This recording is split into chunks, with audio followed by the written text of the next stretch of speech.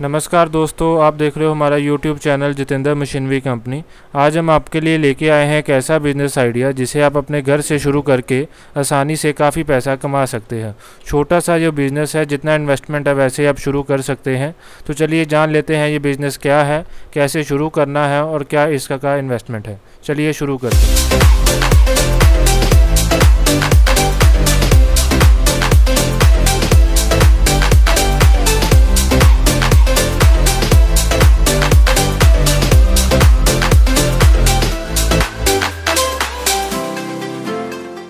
दोस्तों, आज की वीडियो में हम आपको बताने जा रहे हैं कि किस तरह से आप अपना खुद का नोटबुक्स का ब्रांड बना सकते हैं। इस वीडियो में हम बताएँगे नोटबुक्स बनाकर उसे सेल करने को। दोस्तों, यह एक बड़ा बिज़नेस है और मैन्युफैक्चरिंग बिज़नेस अधिकतर अच्छा मुनाफा देता है। नोटबुक्स की सबसे ज़्यादा खरीद स्कूल और कॉलेज के स्टूडेंट्स के द्वारा होती है। इससे अलग गवर्नमेंट और प्राइवेट सेक्टर के सभी ऑफ़िस में इसका प्रयोग होता है। इसके अलावा सभी दुकानों पर और सभी बिज़नेस में अपना हिसाब और बाकी जानकारी रखने के लिए भी नोटबुक का यूज़ होता है। नोटबुक की मार्केट बहुत बड़ी है और अगर ऐसे में आप इसकी मैन्युफैक्चरिंग का बिज़नेस करते हैं तो आप इससे बहुत अच्छा बिज़नेस सेटअप कर सकते हैं। तो आज की वीडियो में हम इसी बिज़नेस की पूरी जानकारी देने जा रहे हैं कि कैसे आपको नोटबुक बनाना शुरू करना है, क्या मशीन चाहिए होगी कैसी और कितनी जगह चाहिए होगी, कितना खर्चा आएगा इस काम में और कितना मुनाफा आप इस काम में ले सकते हैं। तो आप इस वीडियो को अंत तक ज़रूर देखें और वीडियो को लाइक भी कर दें। तो दोस्तों, सबसे पहले बात करते हैं कि क्या करना होता है इस बिज़नेस में।